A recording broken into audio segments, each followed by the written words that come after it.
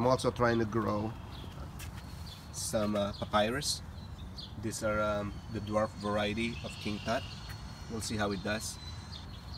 These are marginal plants, but I would have to take them in inside the house during the, the winter time. And look at how, how, our papyruses are doing. It's king tut.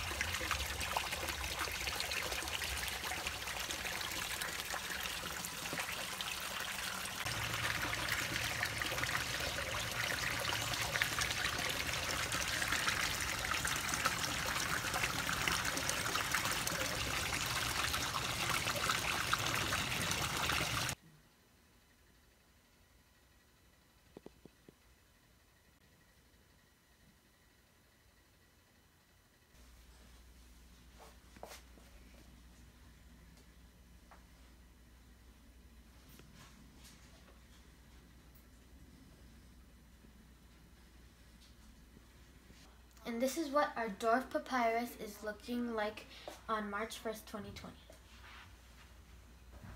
And when the weather gets warmer, we're going to put this outside.